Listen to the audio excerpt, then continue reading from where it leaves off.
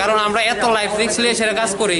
এ বৃষ্টি তুফান সব কিছুর মধ্যে গাছ কাটন লাগে। তারপরে গিয়ে সেটা কোন সময় এত কারেন্টের মধ্যে কাজ করি যে কোন সময় খেয়ে মরে যায় এটার কোনো গ্যারান্টি নাই। কোন কোম্পানিতে জয়েন করছিলেন এবং কোন জায়গাতে পোস্টিং দেওয়া হয় কোন ডিপার্টমেন্টে দেওয়া হয়? আমরাকে টেকনিক্যাল অ্যাসিস্ট্যান্টে হিসাবে নিয়োগ করে আমরা কে করেছিল নিয়োগ? এটা একদম টেন্ডারের আন্ডারে হয়েছে যেটা এনএভিএস কোম্পানির আন্ডারে হয়েছে এটা। এটা টিএসএল থেকে তাদেরকে টেন্ডার দেওয়া হয়েছে। কিন্তু এই যে তাদের যে এগ্রিমেন্ট ছিল এটার মধ্যে ছিল যে পাঁচ তারিখের মধ্যে আমাদের স্যালারি দেওয়া হবে। এটা এমন মেনশন ছিল না যে বিল হলেই দেওয়া হবে। কিন্তু এখন দেখা যাচ্ছে যে বিলটা দেওয়া হচ্ছে না। বলছে যে বিল দেওয়া হবে এটা নিয়ে জমা দাও বিলটা নিয়ে জমা দাও তারপরে তোমাদের স্যালারি দেওয়া হবে। কিন্তু বিল নিয়ে দিচ্ছি আজকে বলছে যে এটা নাও হ্যাঁ এটা হবে না। তাদের যে ইএসআইসি করেছে এ, ওর আমাদের পার্টিগুলো সবার যে ইএসআইসির নাম্বারটা ফ্যামিলি রেজিস্টারের নাম্বার সবার নাম টাম থাকবে এরকম কিছু নেই। শুধু নাম্বারটা দেওয়া হয়েছে, কারণ এটার মধ্যে কিছু নাই যে সবার কার কার নাম বাকি?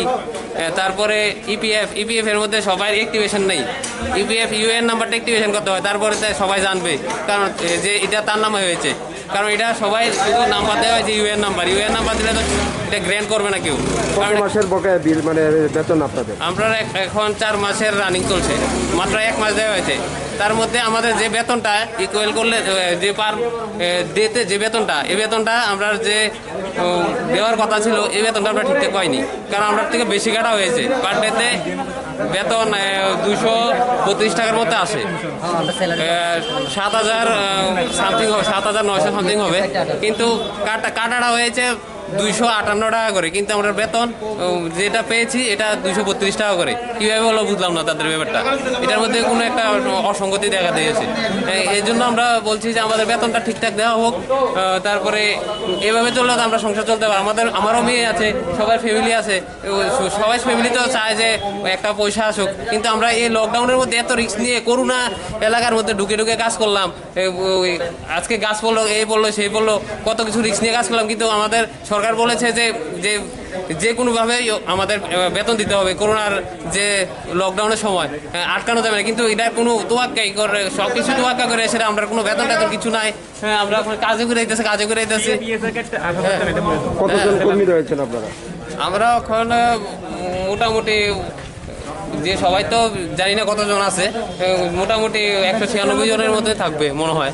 সবাই মানে পোস্টিং কোন কোন জায়গায়? সব কি শহরের ভিতরে না বাইরে? না না অনেক বাইরে। কেউর বাড়ি আছে কেউর বাড়ি অনেক দূরে দূরে আছে কারণ তিরিশ চল্লিশ কিলোমিটার কার হের গাড়ি ভাড়া আছে। তারপরে না গেলে আমাদের ওই এসডি সাহেব বলে যে তুমি করলে করো নইলে ছেড়া দাও। হ্যাঁ ডাইরেক্ট কথা বলে। আমরা এত কিছু।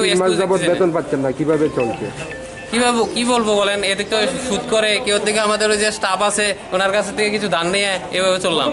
মালিকের সঙ্গে কথাবার্তা হয়েছে? মালিক তো বলে বিল দিলে দিয়ে দেবে কিন্তু ডিজাইন বলছে এটার কোনো এখনও কোনো সিস্টেম হয়েছে না। কি নাম মালিকের? শিবু সরকার। কোম্পানির নাম কি? এনএবিএস পুরা নাম Security. পুরা নাম? ন্যাশনাল